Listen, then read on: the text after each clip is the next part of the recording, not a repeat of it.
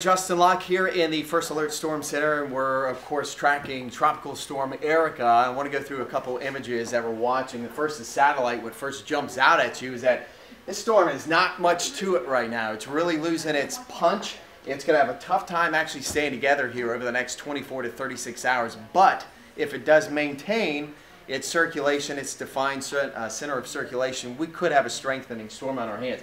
This is what we call our water vapor imagery. This is uh, denoted the orange coloring, very dry air in the mid-levels of the atmosphere, and that's not good for a storm system as this dry air gets sucked into here, and that's why this storm is starting to fall apart. So that's what we're going to be watching. We also call, you might hear us talk about wind shear a lot. That's just winds aloft that kind of disrupts the storm pattern, the cloud pattern of this system.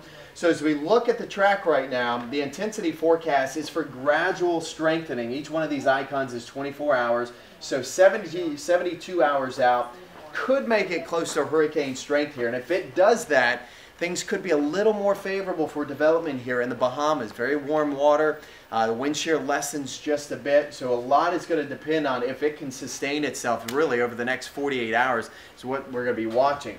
Then things, of course, get a little uh, you know, scary when you look at this far out, but you can't really take that. You got to take this with a grain of salt. Four and five days out here as we look at the cone of uncertainty, look at the discrepancy of models. Some of the models bring this toward Cuba, but the majority of them have it right through the Bahamas or north.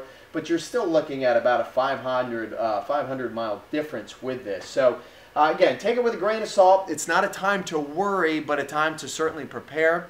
Make sure you and your family have your hurricane plans in place, as well as what you would do in case a hurricane would threaten. And this could be certainly affecting the southeast coast next week. If anything, the minimal impacts, probably some higher surf, uh, but worse impacts, of course, could be some sort of landfalling tropical system. So we're going to be closely monitoring this. You should too, and you can do that by following us on Facebook and Twitter. Have a great day.